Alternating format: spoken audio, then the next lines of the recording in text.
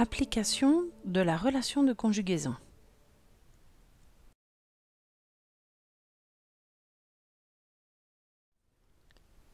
Un objet AB de hauteur 5,0 mm est situé à 30 cm devant une lentille convergente de distance focale égale à 10 cm.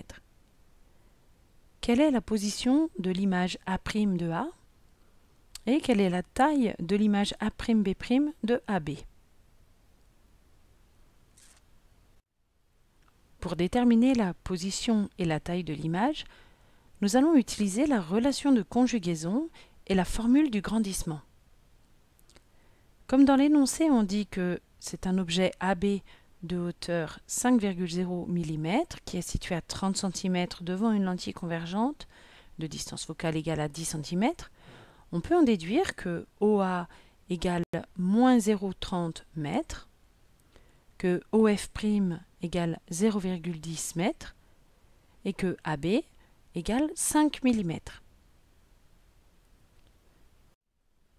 Pour déterminer la position de l'image, on applique la relation de conjugaison.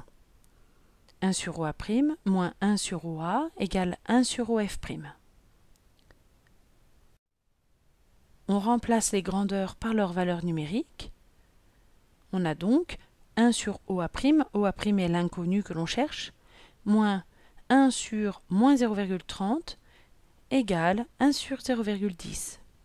On extrait 1 sur OA' qui vaut donc 1 sur moins 0,30 plus 1 sur 0,10 et après manipulation de la formule, on en déduit OA' égale 0,15 m.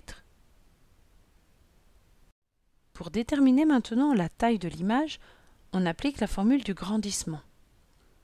Gamma, le grandissement, est égal à OA' sur OA, c'est-à-dire 0,15 trouvé à la question précédente, divisé par moins 0,30, ce qui donne moins 0,5. On en déduit que gamma, qui est égal au rapport entre A'B' et AB, est égal à moins 0,5.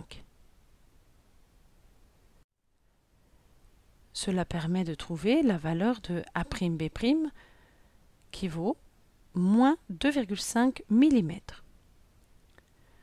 On en déduit que l'image est renversée, puisque A'B' est négatif alors que AB était positif, et qu'elle est deux fois plus petite que l'objet.